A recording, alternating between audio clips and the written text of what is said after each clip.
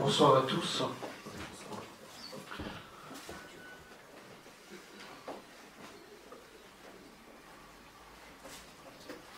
Je voudrais vous emmener ce soir, non pas dans une lecture symbolique du corps humain, mais dans une exploration intérieure du corps humain.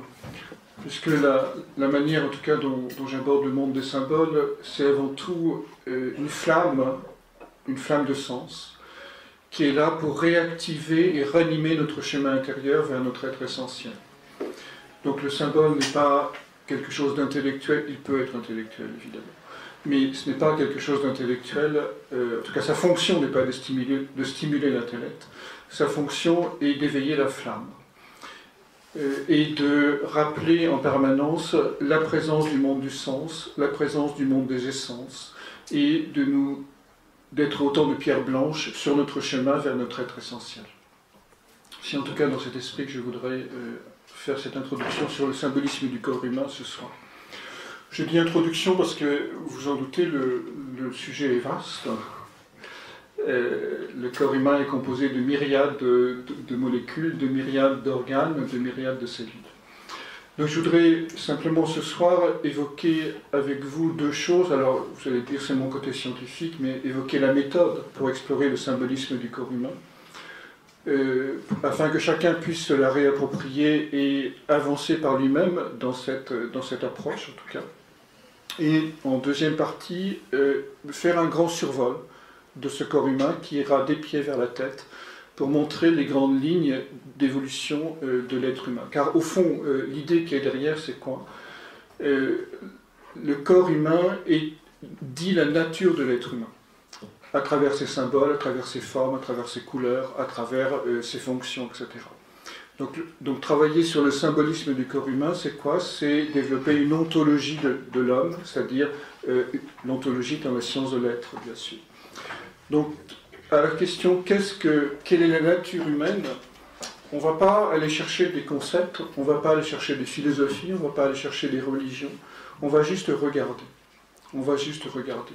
Car, point de, vue, de mon point de vue en tout cas, euh, la nature humaine est inscrite dans la morphologie du corps humain, est inscrite dans la morphologie de l'homme. C'est cela que je voudrais vous montrer ce soir.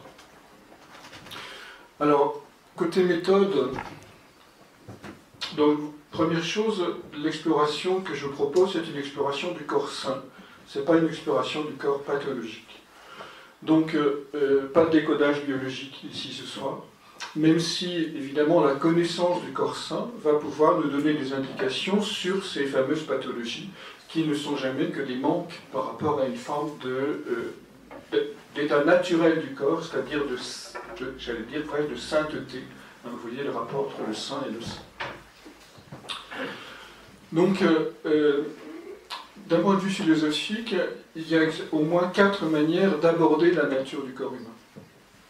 La première, qui est la plus répandue dans notre culture, c'est bien sûr euh, la thèse de l'homme-machine de Descartes, du corps-machine de Descartes, qui voudrait que le corps soit seulement une, soit dénué d'essence, soit seulement une mécanique qui fonctionne à partir qui euh, recherche euh, le bien-être et non plus l'être. Évidemment, si le corps est dénué d'essence, l'objectif de l'être humain, ce sera d'être dans le bien-être et non pas d'être dans la révélation de l'être. Ça, c'est une posture philosophique qui date du 19e siècle ou 18e siècle. Il en existe en réalité trois autres.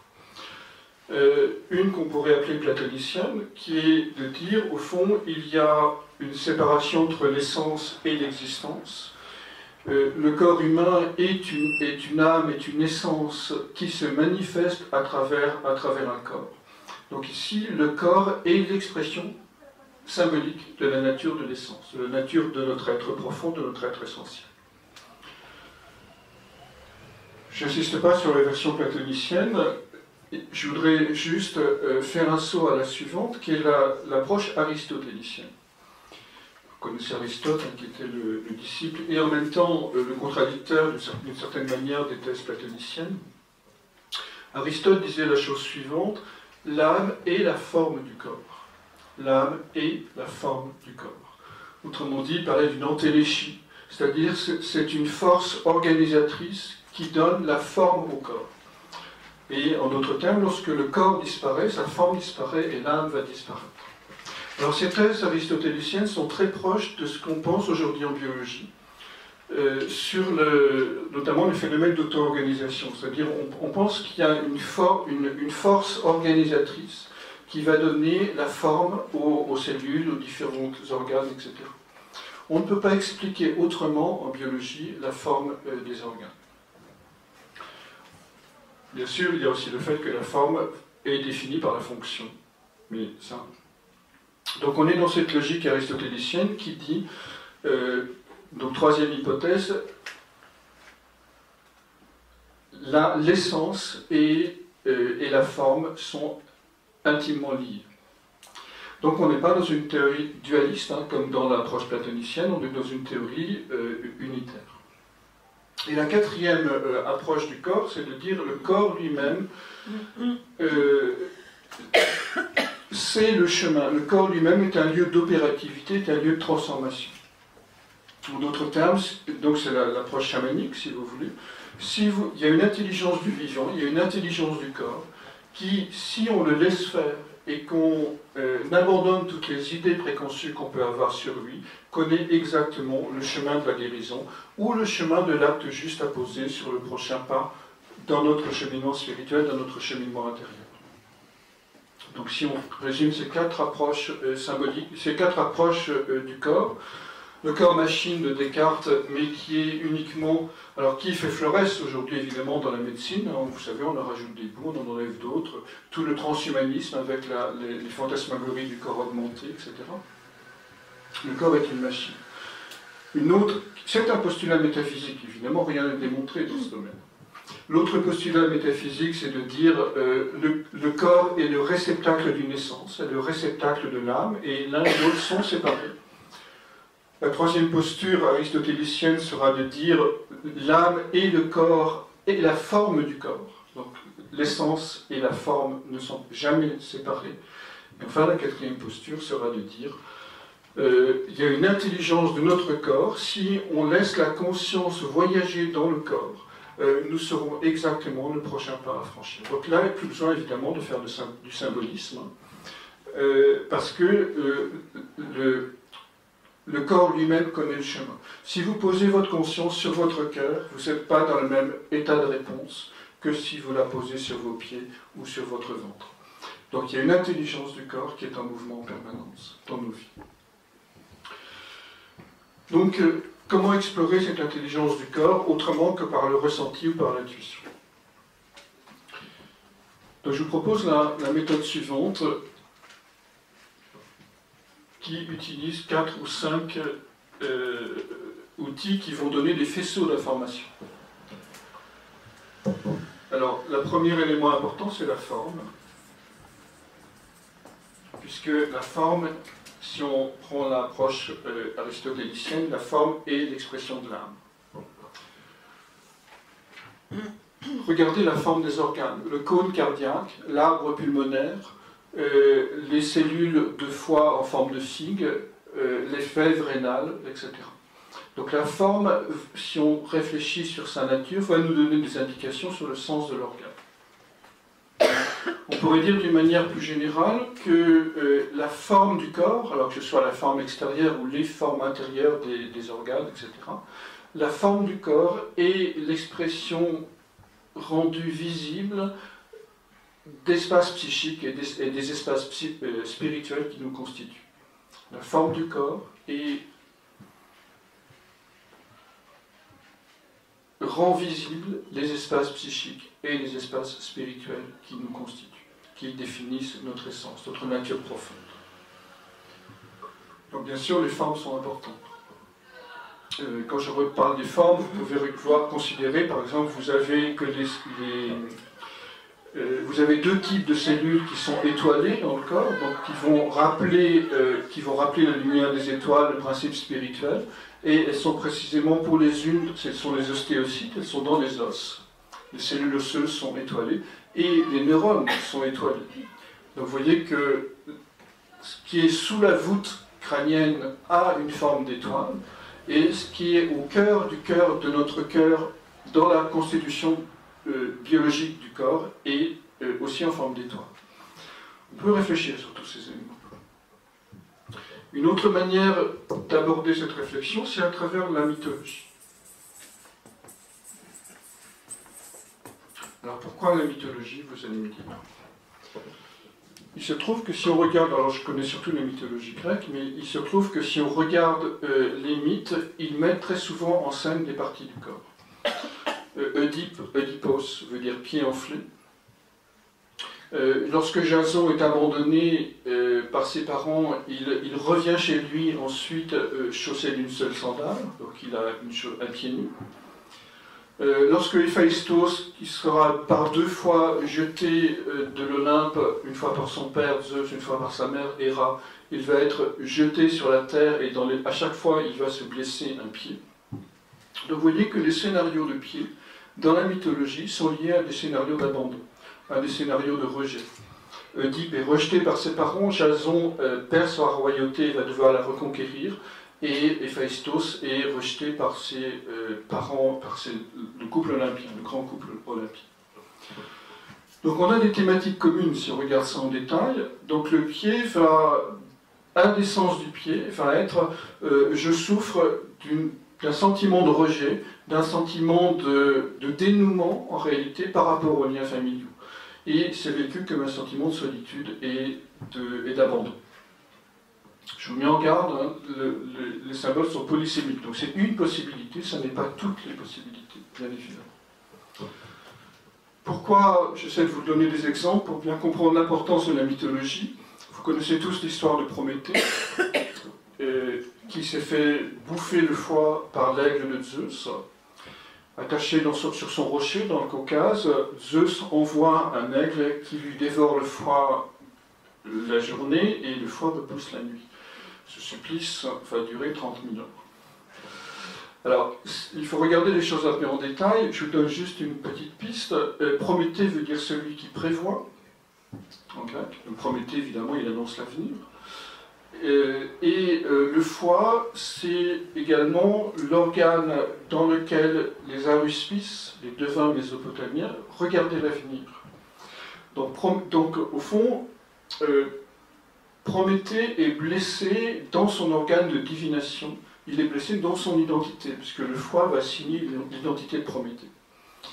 Donc les pathologies du foie, pardon pour cette parenthèse pathologique, les pathologies du foie euh, vont indiquer, encore une fois, c'est une piste, c'est pas toutes les pathologies, mais vont indiquer le sentiment euh, de ne plus avoir de futur, d'être blessé dans son avenir, euh, d'avoir,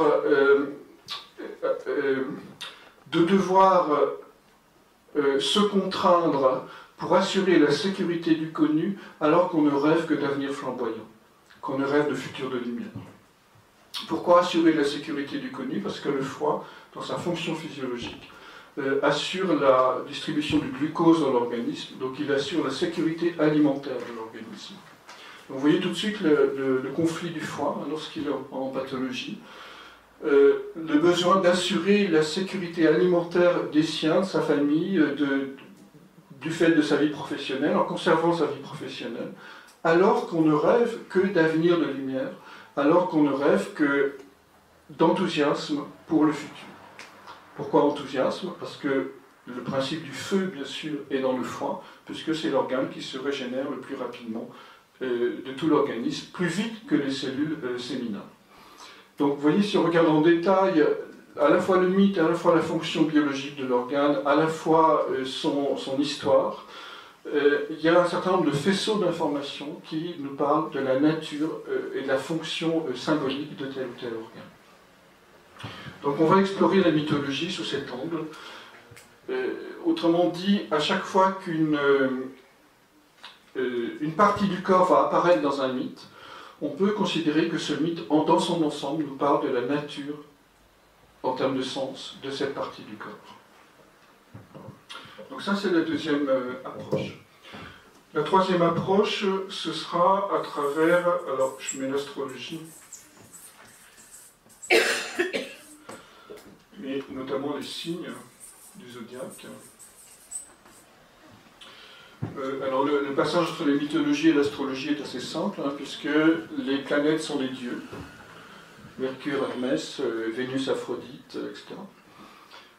Et les dieux, sont, les, dieux planètes sont liés au signe du zodiaque. Donc autrement dit, vous avez, vous connaissez tous hein, cette image de l'homme enroulé, hein, avec les poissons qui correspondent aux pieds, les chevilles pour le verso, les genoux pour le capricorne, etc.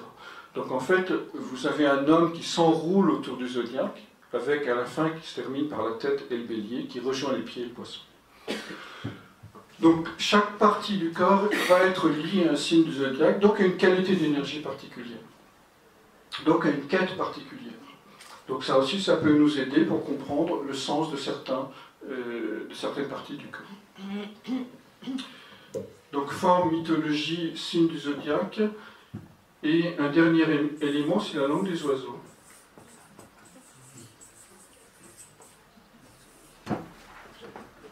LDO, la langue des oiseaux?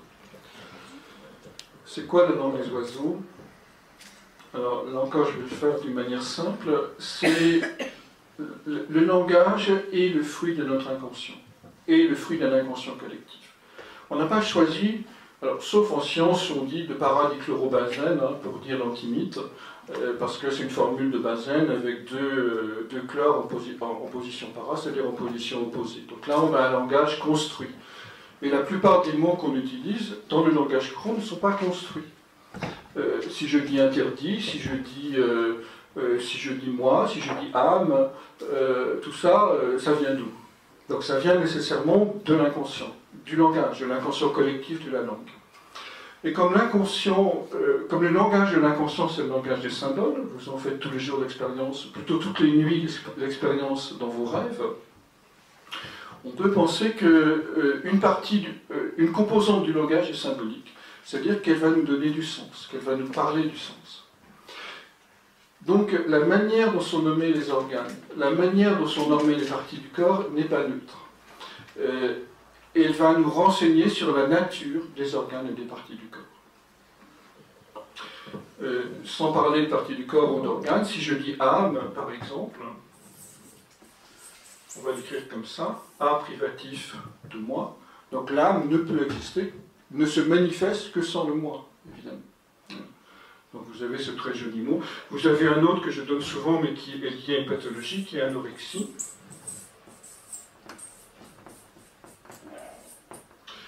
Euh, donc le terme anorexie, on peut le décomposer de deux manières. A est privatif, hein, comme, dans, comme dans comme dans athée, ou comme dans agnostique, etc. Donc je me prive de ma haine, de mon eau, de mon air, et donc je suis coupé de mon axe. Parce que je refuse de voir ma, haine, euh, je me refuse de boire et de respirer, et je suis coupé de mon axe. Pourquoi je fais ça Simplement parce que je suis en quête de l'anneau, Rex, c'est-à-dire l'alliance, l'anneau, avec le roi divin, avec la transcendance. Donc ça, c'est une pathologie prométhéenne, évidemment, puisque le, thème de l'anneau apparaît de manière claire dans le mythe de Prométhée lorsqu'il remonte justement dans l'Olympe Donc on a des mots qui cachent des mythologies, enfin on a des pathologies qui cachent des mythologies, et qui euh, nous renseigne sur la nature euh, spirituelle ici de la situation. N'en faites pas un système, encore une fois, puisqu'une pathologie peut être aussi due parce que vous avez mangé trop de chocolat et que vous avez mal au ventre. Si je reviens au corps humain, vous remarquez que le corps humain a quatre voûtes.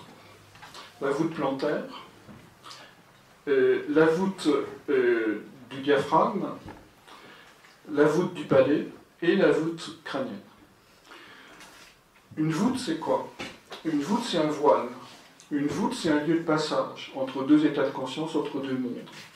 Donc le corps lui-même va nous dire il y a euh, chez l'être humain euh, trois naissances et une mort, ou trois morts et une dernière naissance, comme vous voulez. Donc il y a quatre étapes dans l'évolution complète de la nature humaine qui doit passer quatre voûtes, quatre grands passages. La voûte des pieds, la voûte euh, du diaphragme, la voûte du palais et la voûte crânienne.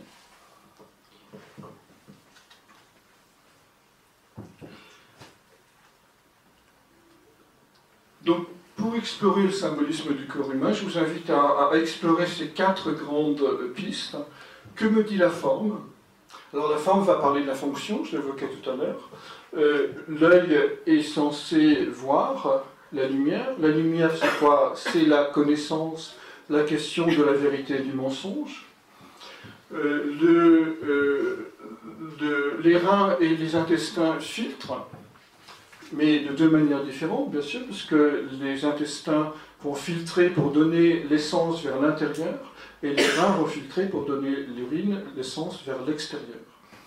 Donc on a ici euh, deux organes qui sont dans le ventre et qui ont des fonctions de, euh, tri. Alors on va appeler ça pour les, euh, intestins de la discrimination. Vous savez que l'intestin c'est le cerveau viscéral.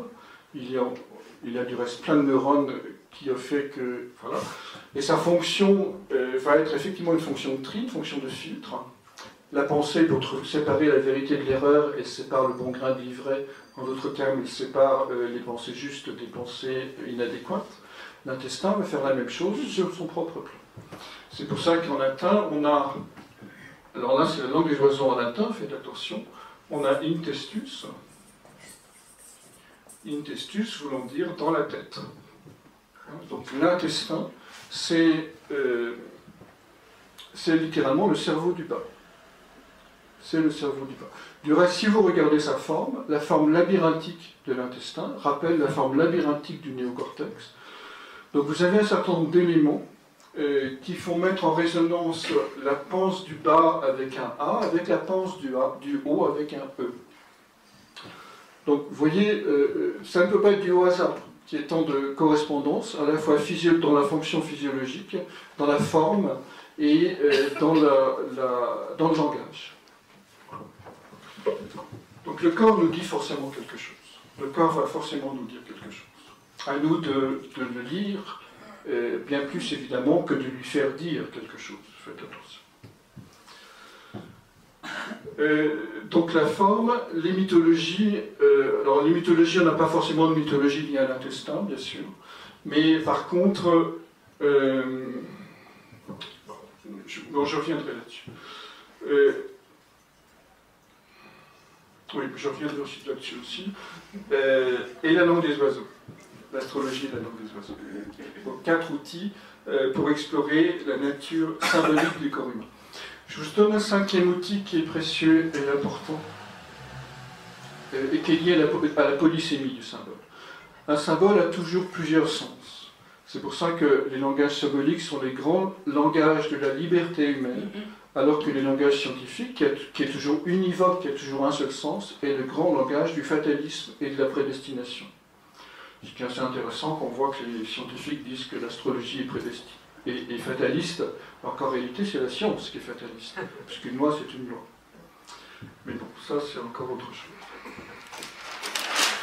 Donc vous voyez que le, le sens est polysémique, c'est-à-dire chaque partie du corps va vous dire toujours plusieurs choses et souvent des choses contradictoires.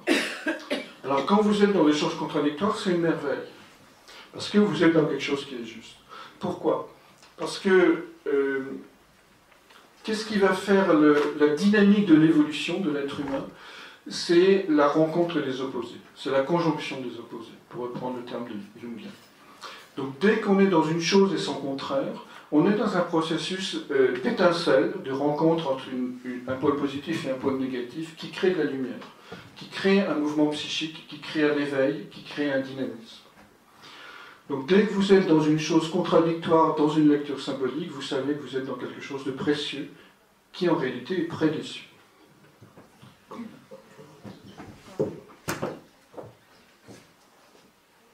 Pourquoi la polysémie du symbole? Alors, pour le, simplifier, je vais vous le montrer comme ça. On a trois mouvements de la, conscience et de l'énergie. On a un mouvement d'involution, on a un mouvement d'évolution et on a un mouvement de transvolution. Alors, l'involution part de la tête et descend jusqu'aux pieds. L'évolution part des pieds et remonte jusqu'à la tête et la transvolution redescend à nouveau. je vais essayer de vous définir ces termes. L'involution, le bébé naît par la tête, en règle générale. L'involution, c'est le processus de création des formes. Autrement dit, c'est l'essence qui va employer la substance pour produire une forme. L'essence va utiliser les matériaux à sa disposition pour euh, produire des formes, alors formes physiques, biologiques, jusqu'à entre 0 euh, et 7 ans, mais ensuite formes psychiques jusqu'à 28-30 ans, formes psychologiques. Donc l'involution, c'est tout ce processus de récapitulation de nos mémoires, des qualités du soi. On pourrait dire que le corps humain est une euh, extériorisation du soi dans l'espace-temps. Le corps humain est une extériorisation du soi dans l'espace-temps est une involution du soi dans l'espace-temps. Autrement dit, l'essence de notre être va euh, construire notre corps et à un autre niveau notre psychisme, en gros jusqu'à 28-30 ans, qui sont une période charnière dans la vie, bien sûr, euh, de manière à ce qu'on récupère tout ce qui a été euh, acquis dans nos vieilles mémoires ou dans nos vies antérieures ou dans l'inconscient collectif, comme vous voudrez. Donc ça, c'est le processus d'involution, de construction des formes. Donc chaque partie du corps va prendre un sens particulier dans ce processus d'involution. Et puis, l'énergie consciente va remonter des pieds vers la tête. Processus d'évolution. L'évolution, c'est quoi? C'est aller à contre-courant du flux normal et naturel des choses pour construire un îlot de stabilité. Cet îlot de stabilité, pour nous, ça s'appelle le, moi, le sujet, l'individu, la personne. Donc la personne va se construire contre, euh, on va dire, les forces normatives du collectif, en, les, en faisant le travail de l'estomac, c'est-à-dire en les digérant, en les assimilant et en faisant des deuils successifs. Donc on est dans ce processus d'élaboration du, sujet dans la phase d'évolution. Ce sujet, euh, une fois qu'il va être mûr et sensé, une fois qu'il va être mûr et sensé, va contacter à nouveau le, le centre coronal, c'est-à-dire la, présence du soi qui est un peu au-dessus de votre tête. Et à ce moment-là, il va se passer comme, c'est le phénomène d'éveil, hein, comme une douche de lumière qui va euh, réénergétiser et transformer la totalité du corps qui, à nouveau, va prendre, va redescendre jusqu'au pied et à ce moment-là, si on arrive à la fin de ce processus, on est dans les travaux de Robindo, hein, qui, est, euh, a, fait, a, montré en tout cas la possibilité de ce travail de descendre du supramental jusque dans la moindre des cellules du corps humain, pour l'immortaliser. Pour l'immortaliser. Et je pèse mes mots, il parle bien d'une immortalité physique, exactement comme dans le mythe, on a Hercule va être en quête d'immortalité.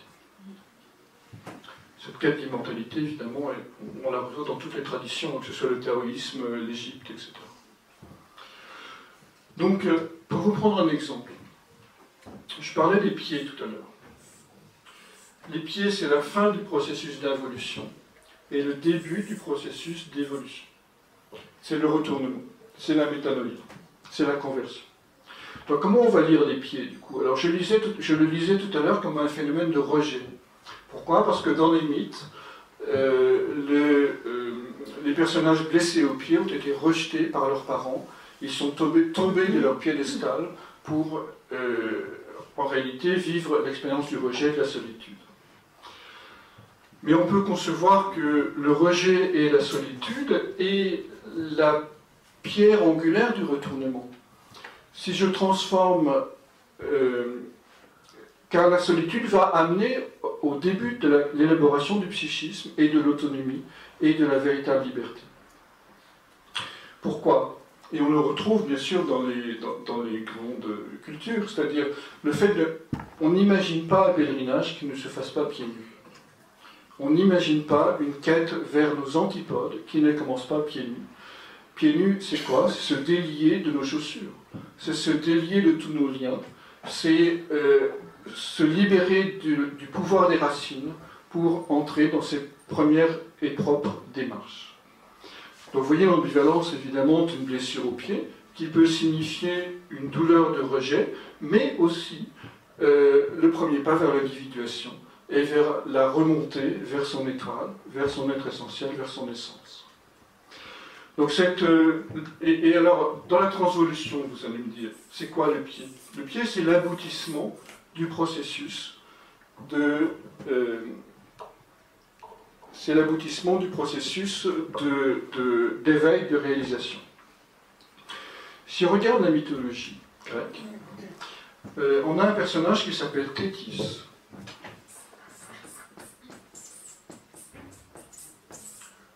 Qui est dite au pied d'argent. Thétis au pied d'argent. Et elle a donné naissance à 3000 filles qui sont les Océanides, qu'elle s'est mariée avec Océan, et de leur union naquirent 3000 Océanides aux fines chevilles. Donc vous avez dans cette euh, généalogie euh, mythologique une généalogie physiologique en réalité, puisqu'on passe des pieds aux chevilles. Thétis, c'est la euh, grande déesse de l'océan. Donc, version lumière, l'océan, c'est le sentiment de l'unité avec toutes les choses c'est euh, que fait le pied? Que fait le pied? Il est en contact direct avec la terre. C'est la seule partie du corps qui est en permanence en contact direct avec la terre. Donc c'est la seule partie de notre être qui relie le moi et le non-moi. C'est la seule partie de notre être pour qui il n'y a plus de séparation. C'est pour ça que c'est associé au poisson dans la logique astrologique et non pas au taureau. Vous voyez l'histoire. Donc évidemment, lorsque le pied est sur Terre, il nous parle dans l'involution de la Terre matérielle, la nécessité d'acquérir du bon sens et des racines, ou de s'en délier. Dans, euh, dans dans l'évolution, il va nous parler de la nécessité de se mettre debout et de commencer ses propres démarches. Et dans la transvolution, il nous dit l'ultime réalisation de l'homme, qui est le contact direct avec le non-moi, avec le tout autre, qui est euh, ce que fait le pied en permanence, mais ce contact permanent avec la terre spirituelle, avec le monde des archétypes, avec le monde des essences. Donc vous voyez que même, euh, même organe, une même partie du corps, a des euh, sens complexes, mais qui peuvent être clarifiés si vous, vous êtes très vigilant à regarder ces mouvements d'involution, évolution, transvolution. Je vous mets en garde contre une autre chose, c'est que ces mouvements ne fonctionnent pas euh, l'un après l'autre, comme je viens de vous le raconter. Ce serait trop facile. Euh, ils fonctionnent en même temps. Par loi de résonance. Lorsque euh, vous êtes là, il y a forcément des résonances avec les autres, les autres niveaux. Le sentiment de rejet suppose le permet l'ouverture au non-moi et permet également de donner un coup de talon, vous savez le fameux talon d'Achille, pour se remettre debout et euh, euh, s'engager sur sa propre voie. Entre parenthèses, Achille est euh, le fils de Thétis. Donc on a à nouveau une géographie mythologique qui est une géographie physiologique. Un autre exemple pour bien faire comprendre que ces trois mouvements fonctionnent ensemble dans la psyché, je vous dirai tout à l'heure pourquoi le genou est le lieu de la relation à l'intimité et la première relation amoureuse. Les douleurs au genou peuvent. Les ligaments, vous savez, c'est la ligue des amants croisés, les ligaments croisés qui sont. Mais il y a d'autres raisons, donc, création de la relation intime dans les genoux. Euh, donc là, on est dans la descente, dans la dans l'évolution. Mais la relation amoureuse euh, met au moins pour un temps les amoureux hors du monde. Et ils, à travers leur amour, ils, euh, ils expriment quelques fils de l'amour universel et euh, de ce que vive le monde des dieux. Donc dans la relation intime amoureuse, c'est une manière personnalisée d'exprimer euh, l'amour de l'interdépendance, des relations de soi à toutes les choses. Donc les deux vont fonctionner en même temps puisque dans la relation amoureuse, vous allez être dans cet esprit, dans cet état d'ouverture, de disponibilité, de lâcher prise par rapport à vos structures figées et à vos cristallisations qui vont permettre ce contact avec la présence du sacré. Donc je vous invite à voir ça aussi, c'est-à-dire dans la lecture symbolique, il n'y a pas de hiérarchie. Nos pieds sont aussi importants que la prunelle de nos yeux. Euh, la voûte céleste et aussi la voûte crânienne, qui est la voûte céleste en fait, est aussi importante que la voûte plantaire. Pourquoi elle est aussi importante que la voûte plantaire? Parce que c'est une voûte qui est plantée sur la terre. La voûte plantaire, c'est quoi? C'est encore une fois l'aboutissement du processus, que j'exprimais par Tétis tout à l'heure, mais on va l'exprimer d'un point de vue physiologique. La, voûte, la voûte plantaire, c'est quoi? C'est une voûte, c'est-à-dire un ciel, qui est planté sur la terre. Donc c'est l'ultime réalisation. Donc bénissez vos pieds, bénissez vos pieds, hein, parce que c'est le début et la fin. Et je crois que c'est Eckhart Tolle qui dit lorsque vous marchez, posez votre conscience dans vos pieds. Posez votre conscience dans vos pieds et dans vos mains. Alors les pieds, vous avez compris pourquoi Parce que c'est le lieu de réalisation du ciel sur, du ciel sur la terre, de la voûte plantée en terre. Et euh, les mains simplement parce que la main, les mains sont les prolongations du cœur. C'est-à-dire la main est euh, et la manifestation de l'humain. Que dit l'humain? Il dit humain, fait avancer la main. Donc la fonction de l'humanité, on peut le regarder d'un point de vue anthropologique si vous voulez. C'est parce que l'homme a libéré sa main qu'il s'est hominisé. Parce que le grand singe a libéré la main qu'il s'est hominisé. On le retrouve dans le langage, puisque la fonction de l'être humain, c'est de faire avancer la fonction de la main. On le retrouve dans la mythologie, parce on a un personnage qui s'appelle Chiron, qui est guérisseur, qui est la qualité de la main. Vous savez, l'imposition des mains va guérir. Donc Chiron, c'est un centaure guérisseur. Il a plein d'autres qualités qui nous parlent de la main. Son nom veut dire, main. Et on le retrouve bien sûr dans, la physiologie, puisque la main est littéralement la prolongation de l'espace cardiaque, cardio-pulmonaire. Donc vous voyez que les choses sont bien faites quand on regarde euh, l'ensemble de ces éléments qui vont nous parler de la nature de l'homme. Donc si je résume ces, points, donc allez voir la mythologie, allez voir la langue des oiseaux, allez voir la forme de l'organe qui va définir sa fonction et donc donner son sens, et allez voir les signes auxquels ces parties du corps sont associées. Et pensez bien à relier ces trois principes, involution, évolution, transvolution, qui, classifient d'une certaine manière la polysémie, euh, c'est-à-dire la pluralité de sens que chaque partie du corps peut prendre. Alors, je vous invite maintenant à un voyage dans l'espace corporel.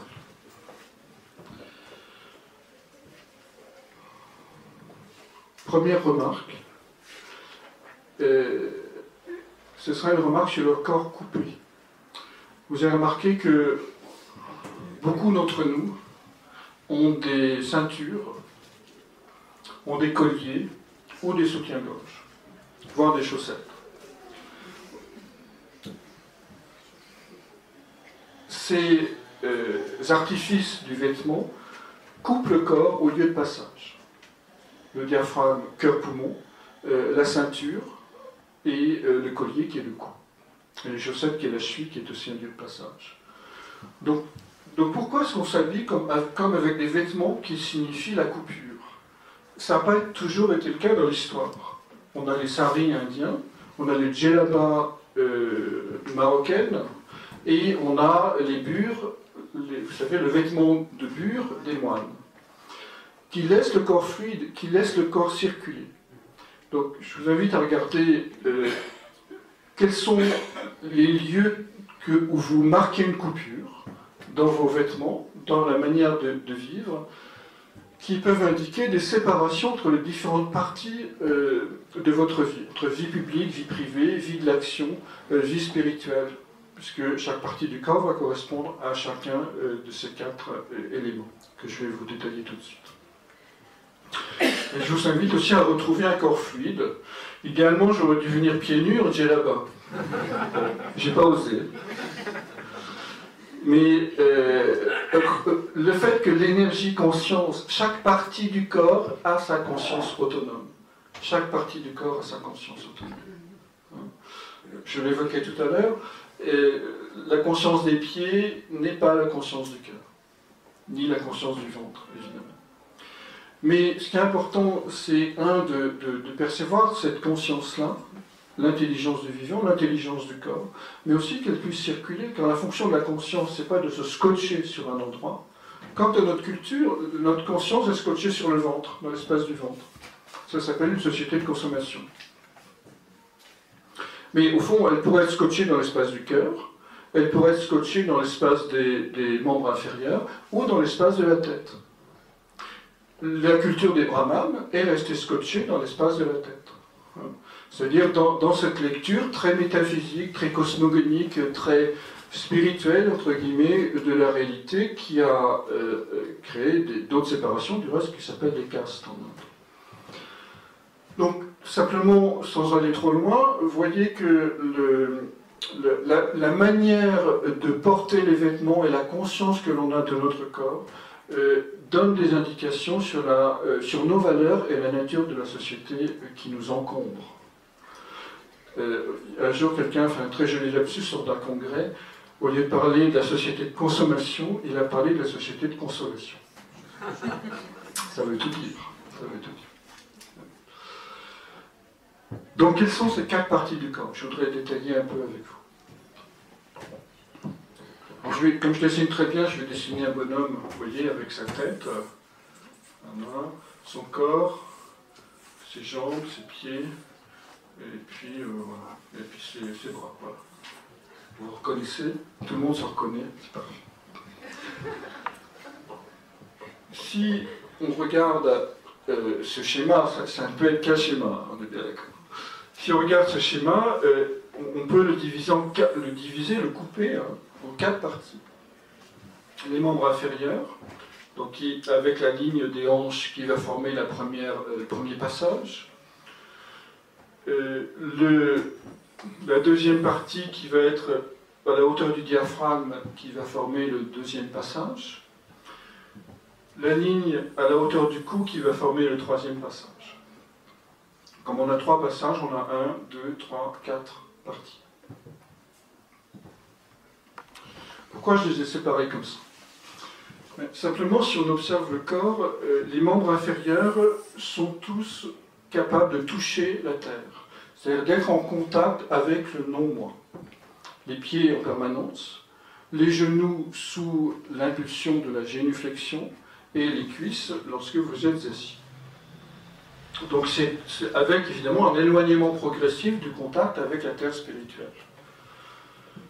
Les pieds, contact direct avec la terre spirituelle, je, l'évoquais tout à l'heure, Comment le genou va se mettre en contact avec la terre spirituelle Par l'acte de génuflexion? Et vous voyez que le, genou est un lieu de, de, grand combat. Toute douleur au genou signe une grande tension entre, euh, quoi? Euh, Entre l'autonomie et euh, le lâcher-prise. Pourquoi entre l'autonomie et le lâcher-prise Parce que l'articulation du genou, c'est ce qui porte le corps vous avez deux éléments euh, qui portent dans le corps humain. Vous avez l'articulation du genou et vous avez les épaules. Simplement, le genou porte le moi, porte le sujet, porte le corps, c'est-à-dire qu'il n'est jamais qu'une involution du soi dans la matière. Et les, épaules vont porter des sacs de ciment et des, euh, et des paniers de cerises. Donc le genou porte les choses intérieures, l'épaule porte des choses extérieures. Donc dans les genoux, vous allez avoir tous les efforts pour être autonome, pour se porter soi-même euh, dans une pure euh, indépendance. C'est pour ça que c'est associé au Capricorne en termes de signe astrologique. Mais néanmoins, c'est une articulation. Toute articulation a pour fonction, euh, comme son nom l'indique, d'être dans le passage, d'être dans l'articulation. Vous avez la même racine étymologique, la même source pardon, étymologique indo-européenne, pour dire un article, une articulation et euh, un rituel. Alors c'est très joli parce que ce sont tous des lieux de passage. Le rituel, c'est le passe, et l'art également, ART, euh, à la même racine étymologique. Donc l'art, l'articulation, l'article, l'article, et c'est moins évident, mais c'est quand même le cas, le rituel, euh, vient de la même racine indo-européenne qui est are,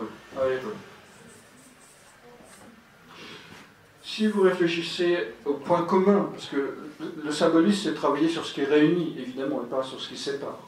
Donc il s'agit toujours de réfléchir euh, c'est ce qui réunit. Donc au point commun entre tous ces éléments, vous avez l'art euh, l'articulation, l'article et le rituel, ce sont des lieux de passage. L'art va euh, euh, manifester un lieu de passage entre l'invisible et le visible, ça s'appelle la création. L'articulation, un lieu de passage entre deux parties du corps, entre deux os. L'article, il va entre deux mots, et les rituels, entre le sacré, et permettre aux profanes d'entrer dans le sacré. Donc c'est aussi un lieu d'articulation. Donc les articulations du corps sont des lieux de passage, sont des lieux de choix, sont des lieux de décision, sont des espaces de liberté. Donc à chaque fois qu'une articulation va être blessée, on va s'interroger comment est-ce que j'utilise mon espace de liberté?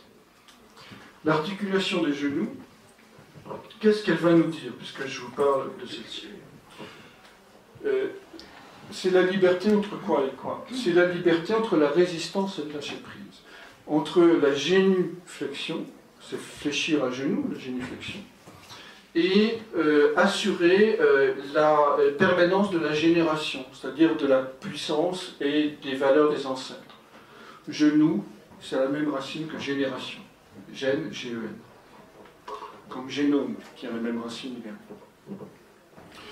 Donc le grand combat des genoux, c'est pour ça que parfois on est sur les rotules, c'est de euh, renoncer à nos structures figées, euh, à nos certitudes, euh, pour ouvrir la porte du cœur. Pourquoi je vous dis pour ouvrir la porte du cœur? C'est une autre lecture, mais qui, donne ses fruits, c'est-à-dire le genou est le point médian des membres inférieurs. Et le cœur est le point médian de du thorax. Et tous les points médians entrent en résonance les uns avec les autres. Et le point médian euh, du visage, ce sont les yeux. Alors vous allez vite comprendre comment ça marche, ces histoires de résonance. Lorsque vous tombez amoureux,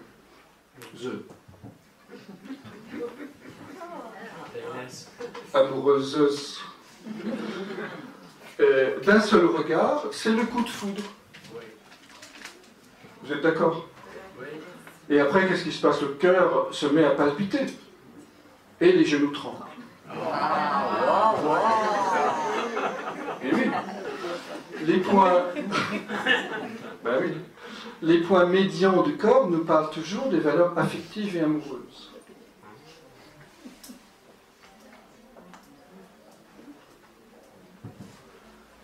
L'amour de la lumière avec les yeux, euh, l'amour de, euh, de l'invisible avec euh, le cœur et l'amour dans la relation intime avec le genou.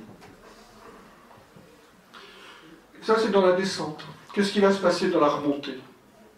Il va se passer que si enfin je reconnais le sens étymologique euh, de homme qui a la même racine que humus et humilité, si enfin j'accepte d'être un homme et je mets genou à terre, je vais frapper à la porte de mon cœur pour rencontrer, pour sentir la présence de l'ineffable. Et lorsque j'ai senti et ouvert mon cœur à la présence de l'ineffable, je vais voir Dieu en face. Donc ça, c'est dans l'harmonie. Vous voyez le processus. Et évidemment, euh, toujours dans cette lecture analogique, parce que j'accepte de mettre genou à terre, je peux aussi rentrer vraiment dans une relation intime avec lui.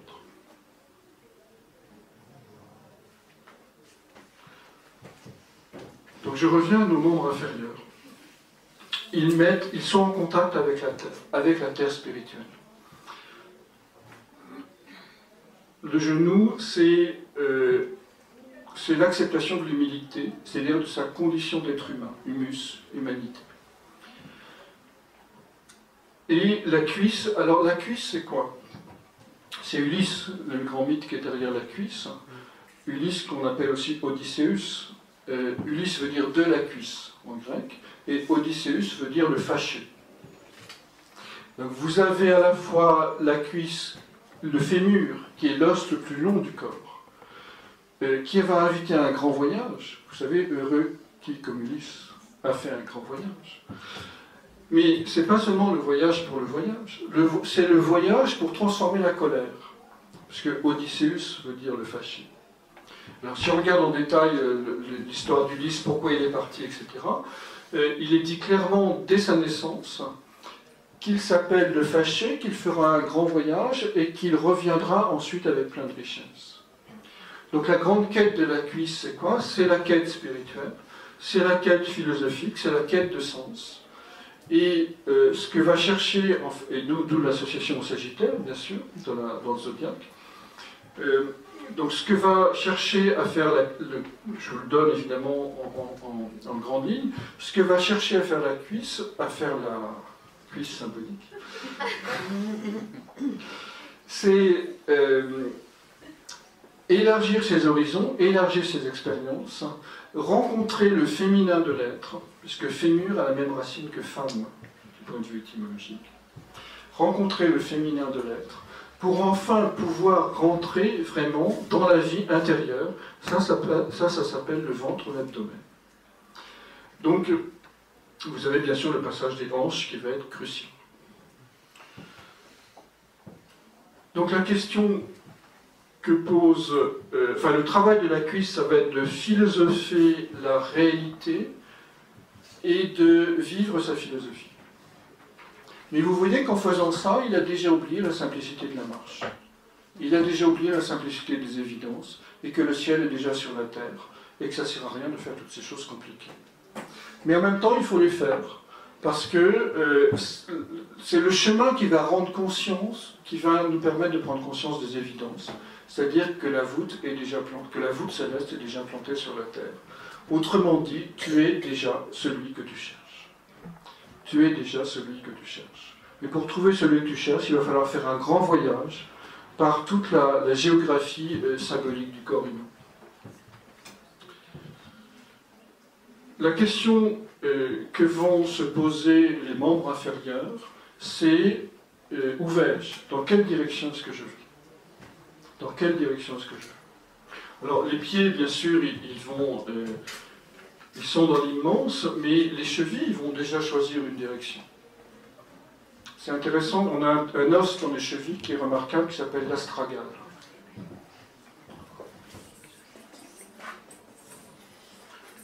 Astragale. Alors, si d'une part vous enlevez les voyelles, il vous reste S, le T, le R, le L et le G. Et si vous rajoutez d'autres voyelles, vous avez le mot astrologie.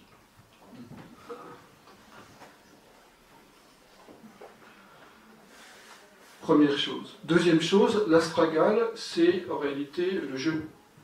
Le jeu des osselets est fait à partir euh, des astragales. L'osselet le jeu des osselets, l'origine c'était quoi? C'était un moyen de deviner son destin. Donc aussi bien l'astrologie que le jeu des osselets, qui sont symboliquement et pour différentes raisons euh, dans l'astragale, euh, vont nous indiquer le moment où on va commencer à deviner son destin. Donc toute blessure à l'astragale, évidemment, va nous questionner, est-ce que tu euh, es parti sur un chemin qui correspond à ta, lumière, à ta voûte céleste, à ta voûte crânienne, ou est-ce que, au contraire, euh, tu es en train de, euh, fouler un faux chemin? De fouler un faux chemin. Bref, l'astragal, c'est le moment où on commence à se demander où est-ce qu'on peut bien aller dans sa vie. il y aura la rude bataille des genoux, évidemment, car euh, pour y aller, il va falloir rentrer dans la relation intime, rentrer dans la relation d'amour, quitter les grandes représentations métaphysiques des, chevilles, et euh, pour commencer le long voyage vers le féminin proposé par les cuisses. Donc ici on est dans l'élément terre, hein, puisque tout ça c'est en rapport avec la terre. Terre des archétypes dans la, dans la remontée, enfin dans la transvolution, ou terre matérielle évidemment dans l'involution. Ici on va être dans l'élément eau. Alors le corps nous dit pourquoi on est dans l'élément eau, parce que cette partie du corps qui s'appelle l'abdomen, euh, produit l'urine, produit le chyle, produit le chyme. Le chyme, c'est cette espèce de, de, chose un peu semi-liquide qui, qui, sort de l'estomac une fois que le processus de lise par les sucs gastriques est terminé. Donc on a l'acide chlorhydrique dans l'estomac, évidemment. Euh, on a également, alors pour les femmes, le liquide amniotique dans cet espace corporel, donc c'est un espace d'eau. L'eau organise quoi? L'eau organise les émotions, et l'eau euh, organise les, sentiments, les pressentiments, euh, le, monde irrationnel, le monde de la magie, le monde des images. Vous voyez que image et magie, c'est un anagramme, ils se transforment l'un dans l'autre. La magie utilise l'image, l'image est magique. C'est pour ça qu'on est soumis à plein de manipulations médiatiques, hein, parce que l'image parle à un niveau qui n'est pas celui de la raison. Euh, c'est aussi le lieu euh, du besoin de sécurité et de protection. L'enfant dans le ventre de sa mère est hyper protégé. Il est euh, protégé par un mur d'enceinte, si je puis dire. Et donc tout, tout, cet espace de l'abdomen va nous parler de quoi? Va nous parler de l'élaboration du sujet, de l'élaboration du moi, d'un point de vue symbolique de la création de la première cellule. Que fait la première cellule? Pas seulement d'un point de vue symbolique, du point de vue biologique aussi, puisque notre première cellule euh, vient du ventre. Que, fait la première cellule? Elle sépare le dedans du dehors.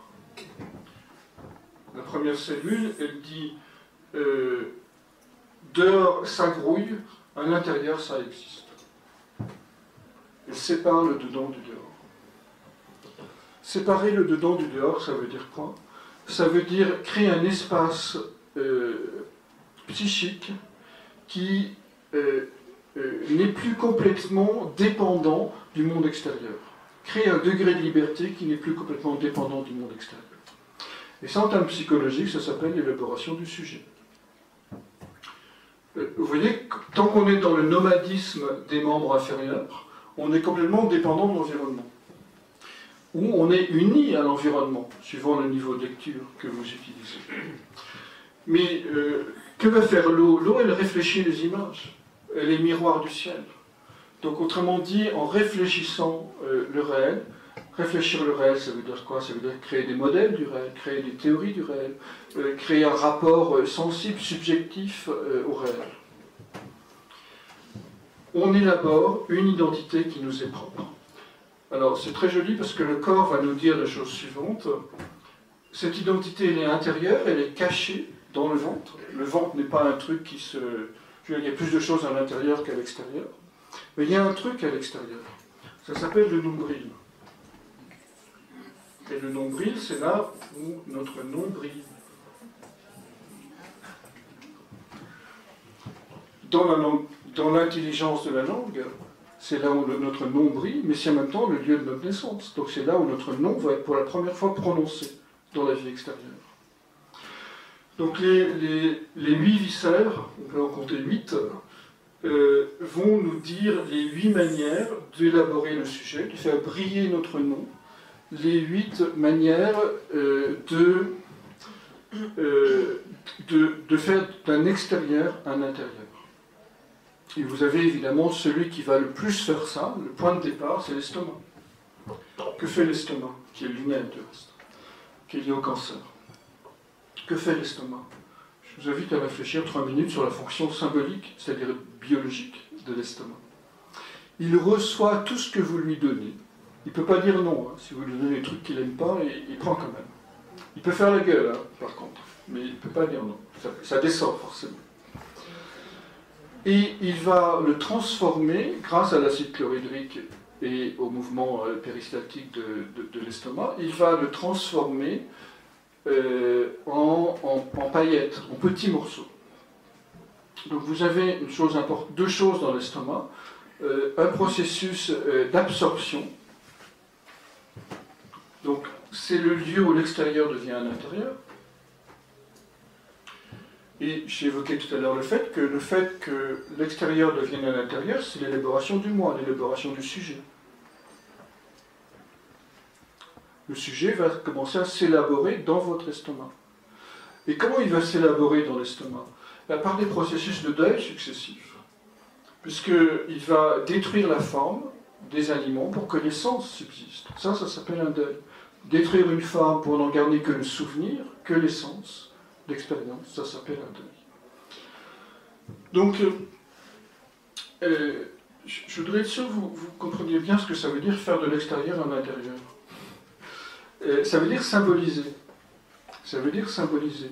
Autrement dit, j'ai une expérience, euh, j'en tire, euh, tire, une leçon, entre guillemets, j'en tire une nouvelle, euh, un, nouveau ressenti, une nouvelle présence, une nouvelle, un nouveau sentiment. Et je suis capable de me détacher ensuite du souvenir, de faire le deuil du souvenir, de faire le deuil de la forme pour n'en conserver que l'essence, que l'expérience. Et c'est comme ça que le sujet va se construire et va grandir. Et ultimement, c'est cette capacité de voir que tout ce qui nous arrive est le reflet de nos plus intimes pensées, que le monde extérieur est suffisamment bon pour nous révéler en permanence qui nous sommes. Et lorsqu'on est là, évidemment, le, sujet en permanence va se construire, puisque le monde extérieur ne sera plus un lieu de danger, mais un lieu d'enseignement. Donc tout ça, c'est le travail de l'estomac. Bon, on ne va pas faire les autres, euh, les autres viscères, mais la fonction générale des viscères, c'est quoi? Comme leur nom l'indique, c'est de servir la vie. Qui n'est pas du tout étymologique, hein, mais servir la vie. La vie de quoi? La vie du cœur. Donc euh, la fonction des viscères, la fonction d'élaboration du sujet, la fonction du moi, ça va être de servir euh, le travail du cœur. encore un mot sur le sujet. Le sujet, c'est quelqu'un qui a conscience de son assujettissement. C'est-à-dire, c'est pas quelqu'un qui est dans la toute-puissance, c'est le moi qui est dans la toute-puissance. Le moi qui résonne avec roi, etc. Je ne sais pas ce qu'il faut penser du moi président du reste, mais bon. Euh, oui, mais c'est important le langage, parce que, encore une fois, si un je président n'est pas un moi président. Euh, le sujet, c'est quelqu'un qui est conscient de son assujettissement, c'est-à-dire qui est conscient des liens de dépendance qu'il maintient avec son environnement. Et donc, il n'est plus dans la toute-puissance, il est dans l'interdépendance. Pourquoi il est dans l'interdépendance? Parce qu'il a trouvé sa place. Et l'estomac, euh, c'est important pour l'estomac de trouver sa place parce qu'il peut être dans les talons ou crier famine. Autrement dit, il peut être en bas ou en haut. C'est qu'il n'a pas trouvé sa place. Parce qu'il ne s'est pas suffisamment métabolisé. Ou alors il peut être critique. Quelqu'un qui est critique, qui lance son acide dans le monde extérieur, c'est quelqu'un qui a un moi faible et qui essaie de liser c'est-à-dire de, détruire le monde extérieur, c'est-à-dire il projette en son extérieur la fonction de son estomac, qui est de liser les aliments à l'intérieur. Donc un moi faible qui est incapable de symboliser va être critique envers les autres, envers le monde, envers son environnement, dans l'espoir de se prouver qu'il existe et qu'il n'est pas faible. Oui, mais je veux dire, les choses parlent naturellement, vous voyez. Donc, euh, euh, conscience de son assujettissement le troisième euh, euh, étage corporel, c'est l'air. On a, évidemment une logique de subtilité des éléments. Hein. Le quatrième, ça va être le feu, vous avez compris. Euh, mais c'est marqué encore une fois dans le corps. Pourquoi l'air? Ben, Parce que l'air rentre dans les poumons, que je sache. Et que le système cardiovasculaire ne fonctionne que grâce à l'air que nous respirons. Donc l'air est signé dans le corps. L'air, c'est quoi? Euh, L'air, c'est la communication, c'est les échanges. Alors, évidemment, ça, ce sont les principes élémentaux hein, de, des, Grecs anciens, hein, euh, c'est-à-dire des puissances d'organisation. Euh, l'air, c'est donc c'est les échanges, c'est la communication, c'est le contact avec l'infini. C'est le seul élément qui ne connaît pas de frontières. Allez donc mettre une frontière et interdire à de l'air de passer. C'est dur. Hein. la preuve, c'est que l'air qui transporte des éléments radioactifs a fait le tour de la planète en trois jours au moment de Tchernobyl. Donc il n'y a qu'en France on a connu les frontières, mais on est très fort. Donc l'air ne connaît pas de frontières. L'absence de frontières, c'est quoi? C'est entrer dans l'infini. Donc la fonction de cet étage, en fait, le cœur est la porte de l'immense. Le cœur est la porte de l'immense. C'est pour ça qu'il a une forme de cône. Le cône nous envoie à un point de, passage, comme les trous noirs ou les vortex, si vous voulez, entre deux mondes, entre deux réalités. Donc euh, la fonction. Alors, mais pour rentrer dans ce, euh, dans ce nouveau monde promis par le cœur, l'espace cœur-poumon, il va falloir faire preuve non plus euh, de besoin de sécurité comme dans l'espace du ventre. Vous savez, on est dans une société du ventre, parce que les seules choses qu'on craint, c'est l'insécurité, c'est la violence, euh, c'est la dépossession euh, de, notre, de notre argent, etc. Le blé, hein, tout ça, c'est de l'agriculture, c'est-à-dire c'est faire une cellule, ou faire un champ, faire un champ, c'est pareil. Le cœur, lui, il est dans une autre dynamique. Il est dans la dynamique de l'ouverture à l'infini. Mais pour s'ouvrir à l'infini, il faut, il faut entrer dans l'axe de Thor. je vais vous l'écrire comme ça. Le thorax, ça marche plus? Mais voilà, ça marche. Il faut, le thorax, c'est quoi? Le thorax, c'est l'axe de Thor, comme son nom l'indique. Alors, vous avez ça, vous avez, c'est très joli, on était dans l'abdomen, avec le nombril. Or, l'abdomen, c'est quoi? C'est le domaine de la. Donc, une fois qu'on a euh, quitté le domaine de la baie, c'est-à-dire le domaine de l'eau, le domaine de la croyance, le domaine des superstitions, le domaine des images, on va rentrer dans le monde des dieux forts, puisque l'axe de Thor, Thor étant l'équivalent de Zeus dans la tradition grecque, c'est-à-dire un dieu qui manifeste la foudre ou le marteau pour Thor et la toute-puissance. Et la puissance, pardon. Cette puissance, elle est marquée dans le corps. Euh, la traduction grecque du mot thorax, c'est cuirasse. Donc c'est une arme protectrice. Euh, vous avez devant ici quelque chose qui s'appelle le sternum. Alors le sternum a la forme d'une épée, il, est comme ça, hein. il est en trois parties. On appelle la lame du, sternum du reste. Et cet os xyphoïde, qui est la fin du sternum, veut dire en forme, euh, en forme de lame, en forme d'épée. Et là, vous avez le manubrium, qui désigne la poignée. Donc les mots du corps, les mots des, parties du corps désignent exactement que le sternum est une épée. Une épée qui va protéger quoi? Derrière le sternum, vous avez quoi? Vous avez le thymus, qui vient du grec thumos, qui veut dire euh, âme. C'est quand même, il faut pas, on ne peut pas l'inventer. C'est-à-dire, vous avez euh, l'épée flamboyante qui protège euh, les valeurs de l'âme qui émane de la présence du cœur, c'est-à-dire du contact avec l'infini et la transcendance.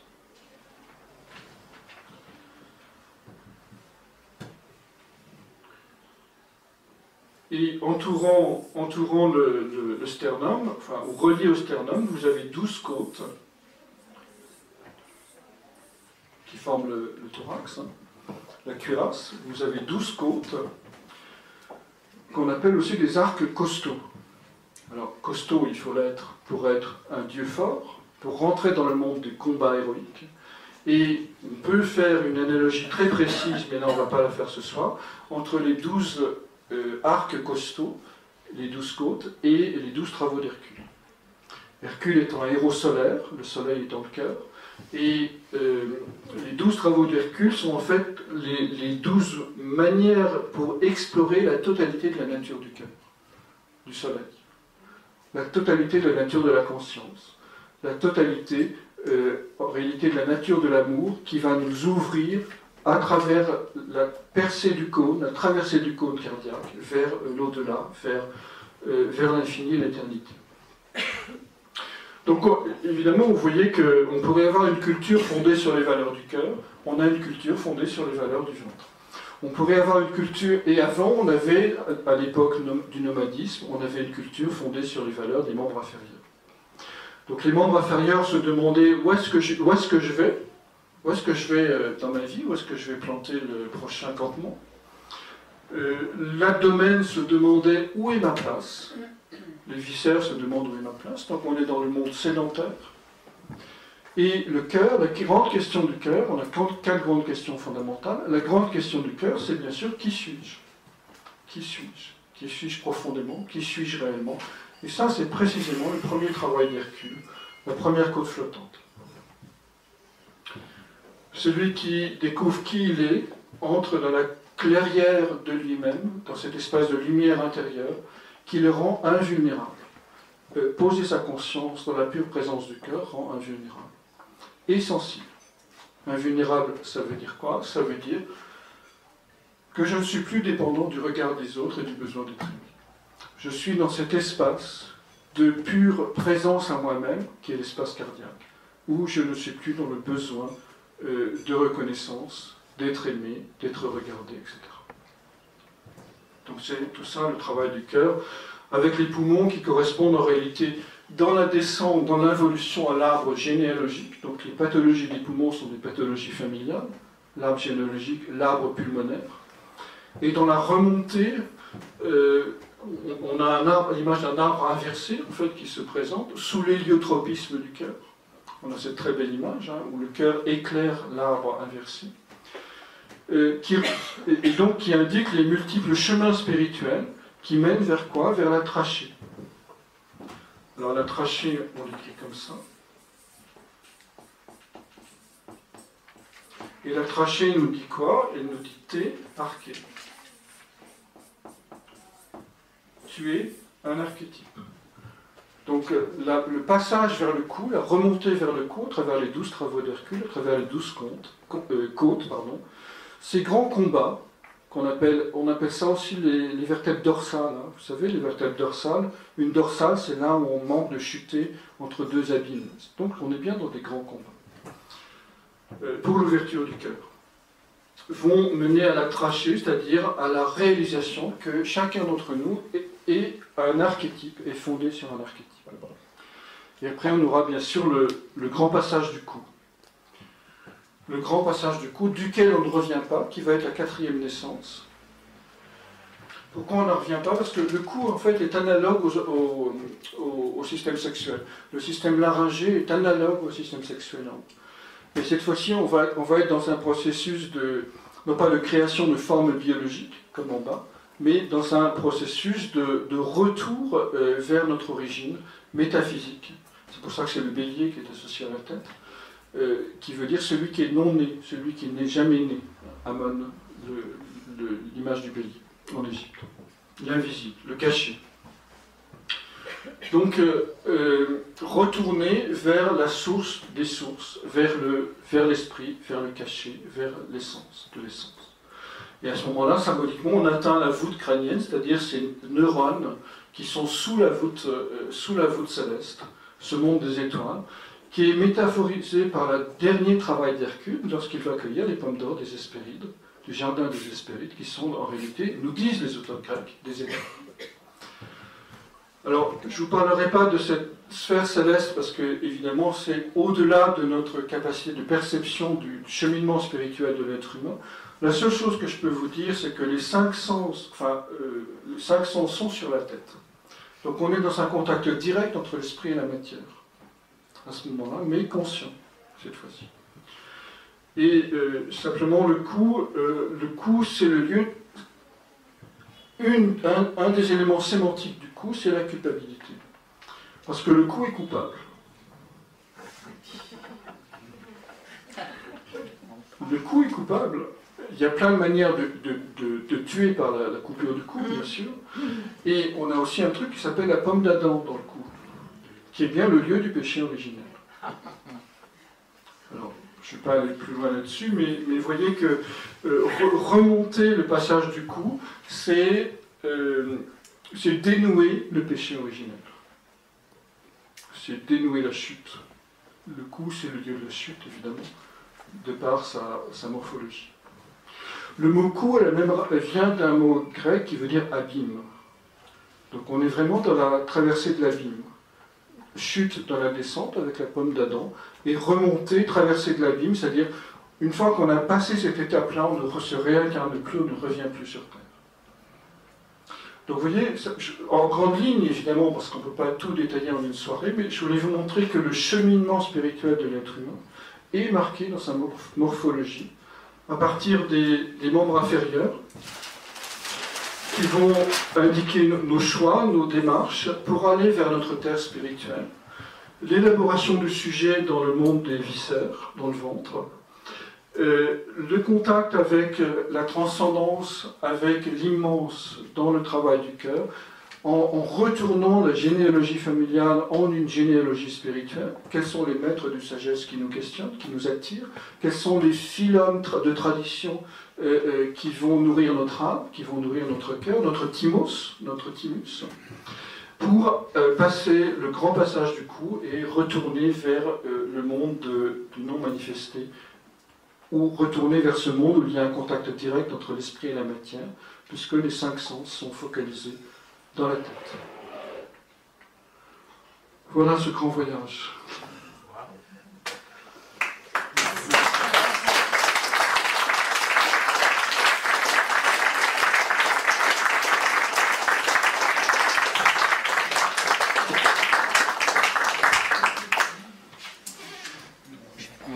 juste là. Oui. Pour les questions, ah oui. Alors, avant que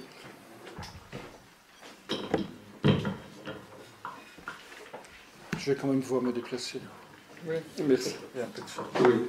Alors avant que, avant que je n'oublie, parce qu'en général j'oublie, euh, je, je, vous invite, euh, si vous voulez aller plus loin dans le symbolisme du corps humain, euh, à visiter le. J'ai fait un site internet qui s'appelle Réenchanter le monde. Réenchanter le monde. Je tapais ça sur Google ou, autre chose et ça arrive.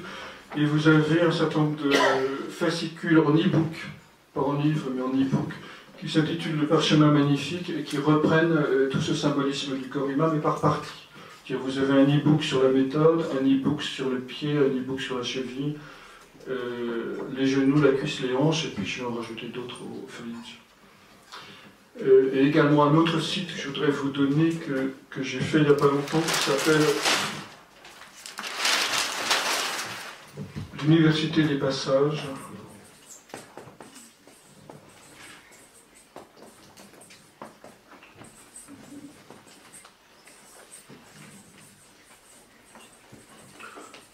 Euh, c'est sur abonnement, mais vous trouverez des, vidéos et des conférences sur le symbolisme du corps humain, sur la mythologie, sur l'astrologie. Enfin, en gros, je suis en train de transférer un certain nombre de, formations sur Internet dans cette euh, université en ligne pour, euh, voilà, pour que ce soit plus accessible pour tout le monde. Voilà. Alors j'ai fini mon annonce. Est-ce que vous avez des questions?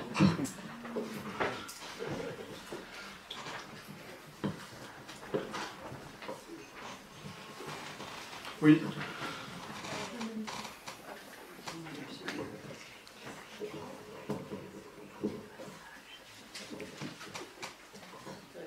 Euh, je crois que cet euh, écrivain, auteur, euh, sans doute un peu médecin aussi, qui s'appelle Michel Odoul, il me semble. Ah Vous en avez entendu parler? Alors j'en ai entendu parler, mais je, mais je alors j'ai rien lu de Michel Odoul, hein, mais je crois qu'il fait surtout du décodage biologique, si je ne m'abuse.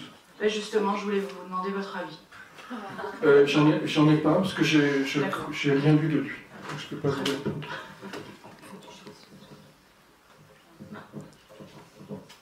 Euh, si le, plus proche, si vous voulez, c'est dans cet esprit, c'est Annick de Souzenel. Hein, mais, mais, Annick de Souzenel, qui elle, euh, alors, elle part du même présupposé, c'est-à-dire que la morphologie du corps humain part de la nature de l'homme, mais elle travaille plus avec la, la Kabbale, les lettres hébraïques euh, euh, et les mythes euh, chrétiens. Donc, mais l'idée est très proche. Enfin, le principe est, très proche. La posture, est la même, mais les moyens sont différents. Enfin, je crois. Hein.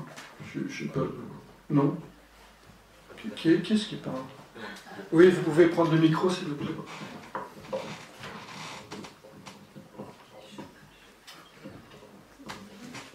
Ben, je pense que euh, c'est toujours très intéressant, évidemment, mais je crois que la clarté de votre prestation euh, montre euh, l'enracinement.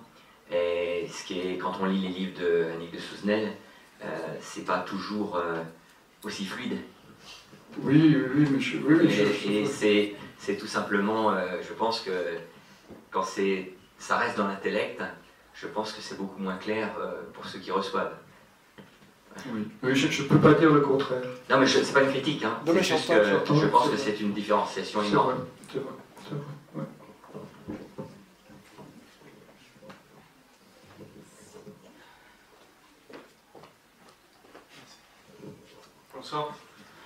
Vous avez parlé à plusieurs reprises de la terre spirituelle. Alors souvent j'ai l'impression que le symbole de la terre c'est un peu la matérialité et tout ça, donc je voulais voir ce que ça veut dire pour vous. Ben, parlons du symbole de la terre. Euh, en astrologie, c'est ça le symbole de la terre. Hein, C'est-à-dire, c'est- Vénus c'est ça et la terre c'est l'inverse.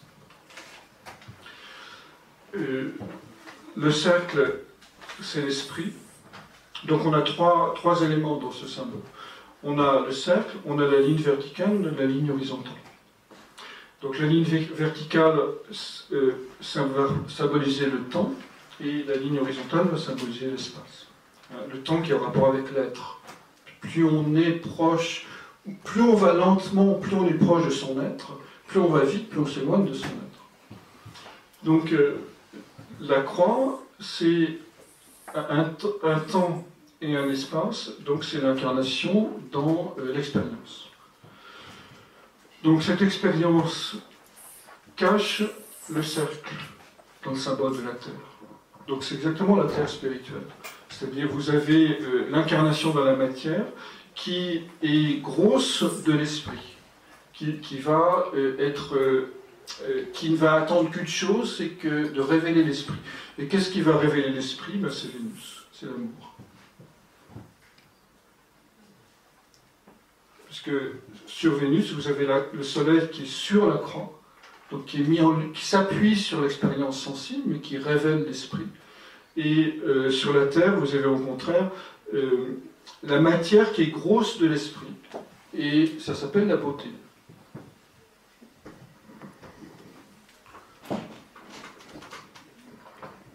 Donc je ne sais pas si j'ai répondu à votre question. du coup. Oui. Euh, je, prends cette expression de terre spirituelle de Henri Corbin. Henri Corbin, qui est un, grand islamologue, a écrit un ouvrage qui s'appelle euh, Terre spirituelle et euh, ciel, ciel, ciel, comment? Oui, quelque chose comme ça. J'ai plus exactement en tête, mais c'est lui qui parle de ça. Je trouve que c'est une très jolie expression.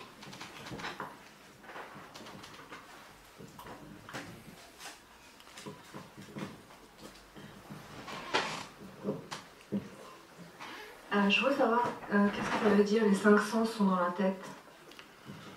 Eh bien, euh, si vous regardez le visage, euh, les cinq sens sont dans, le, dans, le, dans la sphère du visage. Vous avez les yeux qui sont liés. On ne voit pas avec nos mains, on voit avec nos yeux.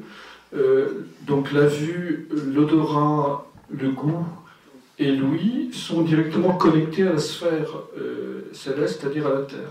Le seul sens qui n'est pas connecté directement, c'est le, toucher mais il est réparti par la peau sur toute la surface du corps. Donc euh, euh, symboliquement, ça veut dire quoi? Ça veut dire que euh, la fonction de la tête, c'est pas de penser. Nous, on pense que la fonction de la tête, c'est de penser parce qu'on est dans une logique du cerveau du bas, des viscères. La fonction de la tête, c'est euh, permettre un contact direct entre l'esprit et la matière. Puisque les cinq sens, c'est ce qui nous permet de contacter la matière, euh, par la couleur, par l'odeur, par la forme, par le, le sensible, par le toucher, par l'écoute des bruits. Mais tout ça, vous sentez que c'est relié directement à la sphère céleste, c'est-à-dire à l'esprit. Donc l'ultime réalisation, c'est le mariage esprit-matière. Il y a une autre façon d'exprimer qui est en rapport avec la mythologie. hein. Euh, puisque j'évoquais la pomme tout à l'heure, la pomme d'Adam. Mais la pomme, dans la mythologie grecque, donc la thyroïde, euh, thy- thy- thyroïde, tyros veut dire porte. Donc thyroïde, c'est le. Thyroïde, c'est le. Ou thyroïde, c'est la porte du iode. C'est la porte de, la semence. De la semence, hein, du, du. Euh, mais je reviens, qu'est-ce que je voulais vous dire? Oui, la mythologie, la pomme.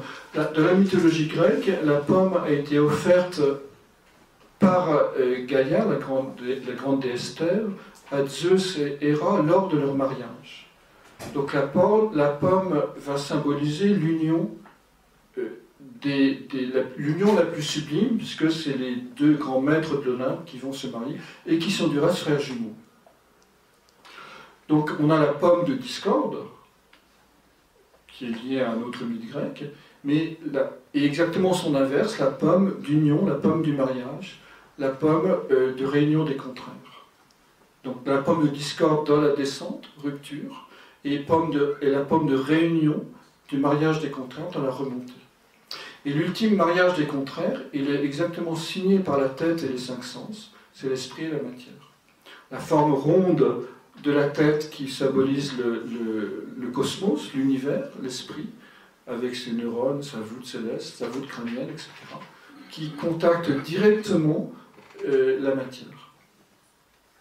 Vous voyez l'image? On ne peut pas aller plus loin que cette rencontre, que cette union entre la matière et l'esprit. Et pour l'illustrer, j'évoquais les travaux de Robindo, hein, qui, justement, dans, son œuvre, euh, montre la possibilité de descente supramentale, c'est-à-dire de ce que nous on appelle ici l'esprit, dans euh, chaque cellule du corps, c'est-à-dire dans, chacun de nos outils de sens qui nous permettent de percevoir le monde. Ça, c'est le grand mystère de l'immortalité, de la transformation de l'âme et de la métamorphose de l'homme qui, qui est derrière.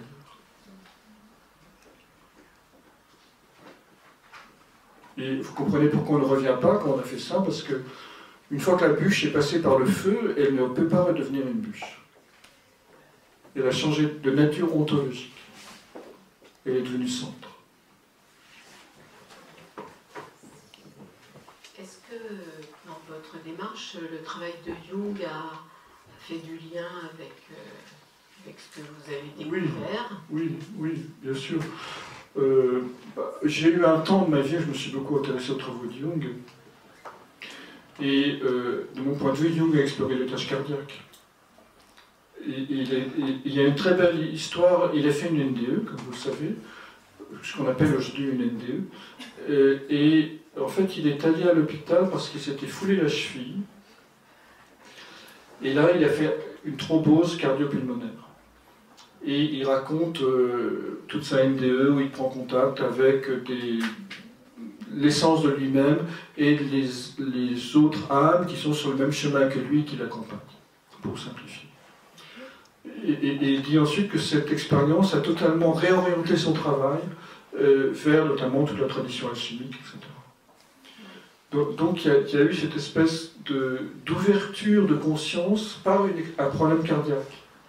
Vous voyez l'histoire Et la cheville, alors, qui, a pris son origine dans un problème de cheville, c'est fouler la cheville.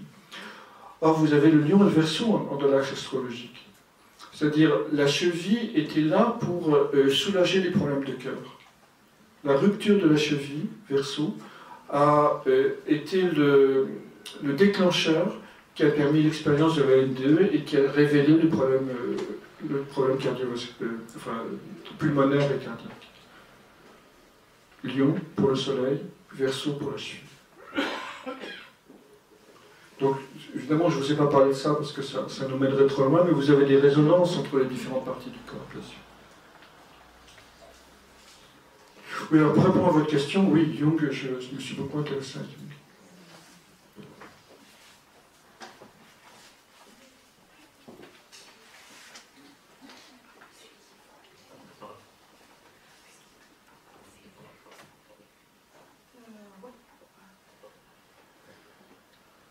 Est-ce qu'il y a d'autres questions? Est-ce que vous pouvez nous parler de vos livres, s'il vous plaît? Oula, mais j'en ai une quinzaine, donc ça sera un peu long. Euh, bah, J'ai amené un échantillonnage, mais euh, vous avez trois types de livres. En, gros, vous avez euh, La force du symbolique et un autre qui doit être là aussi, qui s'appelle L'homme réunifié, qui développe une approche plus philosophique du symbole. C'est-à-dire Celui-ci, c'est comment euh, se positionne la pensée symbolique par rapport aux autres formes de pensée, scientifique, euh, systémique, et puis la- l'approche chamanique plus opérative. Donc là, c'est plus philosophique. L'homme réunifié également, cerveau droit, cerveau gauche, donc c'est une réflexion sur le- les langages symboliques côté gauche, le langage scientifique côté. euh, pardon, le langage symbolique côté droit, le langage scientifique côté gauche. Après, il y a une série d'ouvrages sur les mythes. Euh, vous avez Icare, euh, Prométhée, Narcisse euh, et La voix du héros, qui sont les douze travaux d'Hercule hein, que j'évoquais tout à l'heure, qui est une analyse symbolique des mythes, c'est-à-dire avec l'idée que chacun d'entre nous est porteur de un plusieurs mythes fondateurs. Et que le mythe représente à ce moment-là une espèce de géographie de notre, en termes de sens de notre vie. C'est-à-dire, il nous dit, euh, si tu vas par là, tu vas rencontrer un monstre, si tu vas de l'autre côté, tu vas te casser la figure, et si tu vas tout droit, euh, ça risque de bien fonctionner. Je caricature, évidemment. Euh, donc, le mythe, si on est porteur de ce mythe-là, il va nous indiquer les pièges qui pourraient nous broyer, mais aussi les, les- les décisions qu'on peut prendre pour aller plus loin dans la réalisation intérieure. Donc voilà, donc j'ai- vous avez- un mythe de Narcisse. Narcisse est un mythe remarquable de connaissance de soi et de découverte de ses propres profondeurs, par exemple. Ça n'a rien à voir avec le narcissisme au sens euh, psychopathologique. Donc il y, a, il y a- il y a Prométhée, il y a Narcisse, il y en a, deux autres encore. Et le troisième euh, volet, c'est. Alors il y a un troisième volet qui est l'astrologie. J'ai plusieurs livres sur l'astrologie, les signes, les maisons, les planètes, rétrogrades, la lune noire, etc. Et puis ce petit livre qui sort un peu des, choses, mais qui est le dictionnaire en langue des oiseaux, qui exprime un petit peu ce que je vous ai dit là, c'est-à-dire le, sens caché des mots, c'est-à-dire le sens que l'inconscient veut donner, euh, le murmure, ce que les mots nous murmurent malgré leur sens conventionnel. Donc avec de nombreux exemples, j'ai beaucoup travaillé sur les prénoms et certaines pathologies. Donc voilà un survol général. Plus bien sûr le parchemin magnifique, mais qui n'est pas publié sur, en livre, qui n'existe que sur euh, qu'en e-book, que vous trouverez sur Amazon ou directement sur euh, Réenchanter le monde. Voilà. Oui. Est-ce que c'est possible d'approfondir un tout petit peu, juste deux minutes, sur la cheville?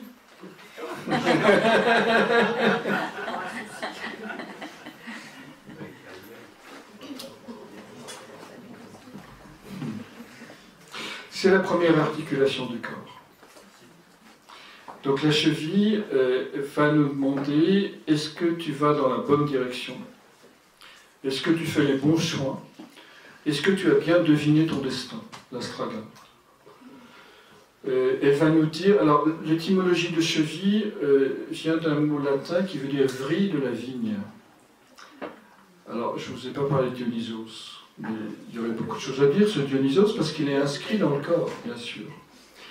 Euh, L'ivresse dionysienne.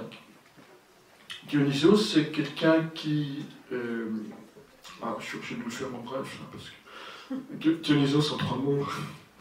Euh, Dionysos, c'est le sentiment de participation mystique à, l'environnement. Il fonctionne sous forme d'une contagion. C'est les grands rituels de, où, on a vraiment le sentiment de participer à l'âme du monde et à l'âme du groupe. Donc la, naissance de Dionysos se fait dans la cheville, parce que c'est la vrille de la vigne, c'est la première petite vrille qui commence à pousser. Donc, donc la question que va poser la cheville, c'est est-ce que je fais confiance à mon ivresse? C'est-à-dire à la semence de sens qui commence à m'habiter et être importante pour moi. Pourquoi? Parce que la cheville va, arriver sur le tibia. Le tibia veut dire flûte. Or, la flûte, c'est le- c'est le- l'emblème d'Athéna, dans la mythologie grecque, déesse de la sagesse et de la guerre, mais elle n'a jamais combattu. Euh, donc la flûte, c'est quoi symboliquement? C'est le souffle qui passe à travers un os. Alors c'est très joli, vous voyez l'histoire. Est-ce que je suis capable de laisser le souffle de l'esprit, le souffle de l'inspiration créatrice, suivre son chemin en moi, dans ma vie, sur sa juste note? Autrement dit, est-ce que je suis capable de produire et de manifester ma note à partir de tous les potentiels qui sont plantés dans mes pieds. Donc la cheville polysémique, hein, euh, blessure à la cheville, peut... la première question à savoir, c'est est-ce que vous prenez la bonne direction dans votre vie? Et si vous êtes blessé à la cheville, il y a des chances que non. Donc c'est le moment d'y réfléchir. Mais euh, c'est aussi une invitation à deviner son destin et se mettre en route dans sa propre créativité, dans son originalité pure, sur sa note particulière. Que j'ai répondu à votre question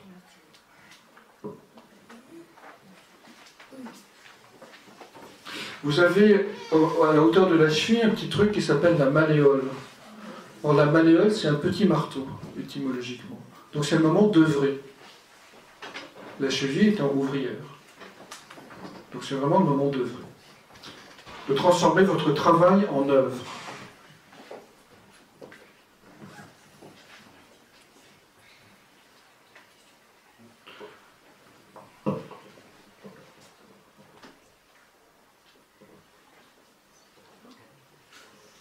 Euh, vous disiez tout à l'heure que le même organe pouvait avoir plusieurs symboliques. Euh, je vois pas. Ah plusieurs euh, symboliques contradictoires. Est-ce qu'on pourrait juste avoir un exemple et, et comment décortiquer justement ces. Oui, oui alors j'évoquais le pied tout à l'heure, hein, qui est à la fois le lieu du rejet, l'involution, le lieu de où on décide de se mettre debout envers et contre tous en, plantant un coup de talon dans le sol, le talon d'Achille, euh, le lieu du redressement ontologique vers son étoile, donc évolution, et euh, le lieu de la communion, euh, de la non-séparation entre le moi et le non-moi, transvolution.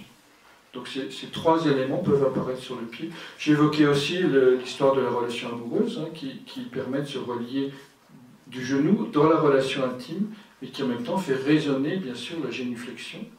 Car si on veut euh, que la relation amoureuse continue, il va bien falloir s'asseoir sur cette structure figée.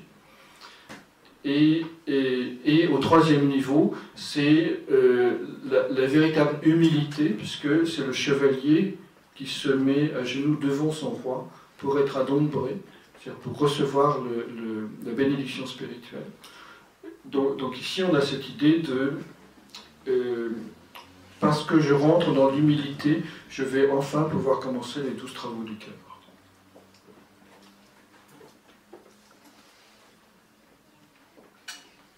Je ne reprends pas sur d'autres organes parce que ça m'obligerait à un, un, trop long développement. Mais voilà, je, je voulais juste resynthétiser ça.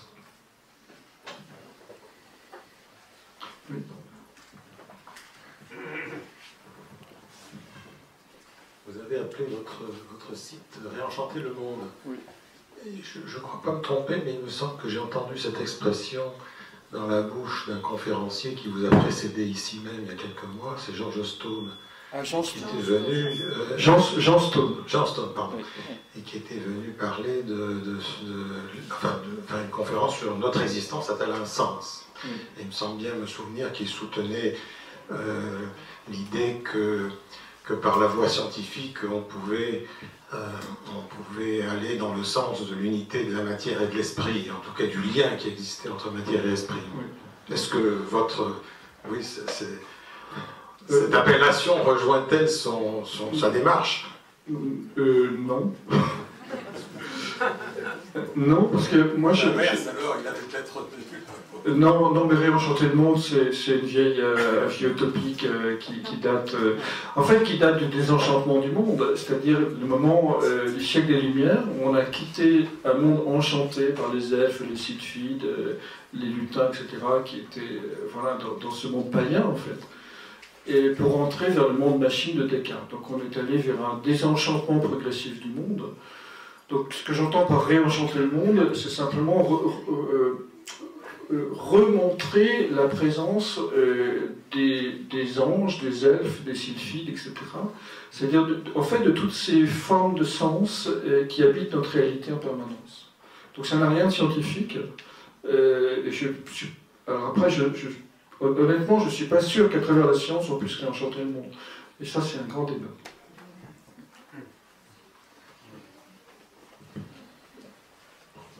Je me place plus je, me place plus dans l'hypothèse d'un retour vers une espèce de Moyen Âge des Lumières, avec euh, le sens du merveilleux euh, fondé sur une lecture du réel et non pas euh, sur, les, les, données de la superstition qu'on a aussi pu voir au Moyen Âge. Oui.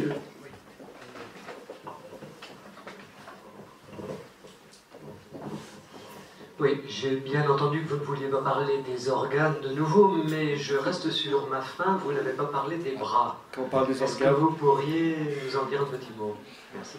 euh, je vais juste vous en dire un mot. Euh, le bras a la même, euh, se retrouve dans le terme embrasser.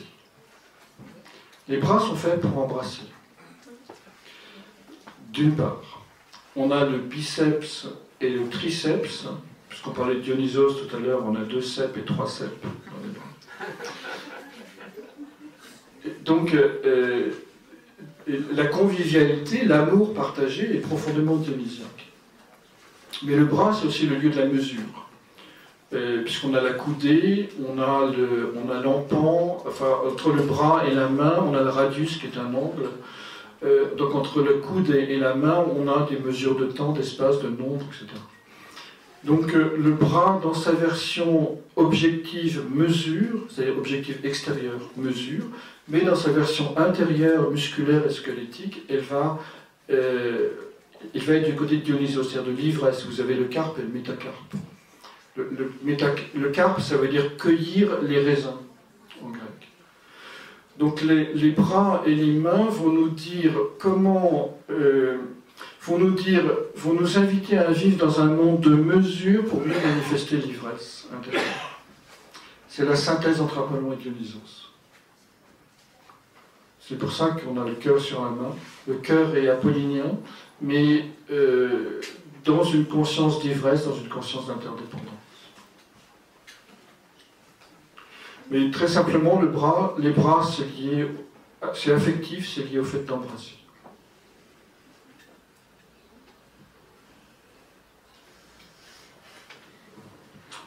Bonjour. Alors c'est pas vraiment le thème de ce soir, mais vous avez évoqué l'amour avec Vénus. Et moi je me pose beaucoup de questions sur l'amour. Est-ce que vous pouvez euh, détailler la- les différences qu'il y a entre l'amour de Vénus et l'amour euh, lié, symbolisé par le soleil, qui, qui est plutôt l'amour divin, je crois? Ah oui, euh, oui, oui. Mais encore. Une grande question. Euh, il y a trois Vénus dans la mythologie grecque. La- oh, pour fille, il y a l'amour sexuel, euh, il y a l'amour euh, intime et il y a l'amour spirituel, de Vénus Urania. Donc il y a trois, il y a trois formes d'amour. Mais le soleil est totalement impersonnel. C'est-à-dire, la différence entre Vénus et le soleil, c'est que Vénus quel que soit le, le niveau de sublimation, on va dire, de, de l'amour, il reste lié à la personne, il reste lié à- à- au sujet. Alors que le rayonnement du cœur, euh, il faut que le sujet s'efface pour qu'il puisse euh, s'exprimer. Donc c'est plus de l'ordre de... On va dire c'est la porte de l'extase, le soleil. Et donc on n'est plus dans l'amour humain, quelle que soit sa forme. C'est très clair. Merci beaucoup. Ben, C'est nous qui vous remercions.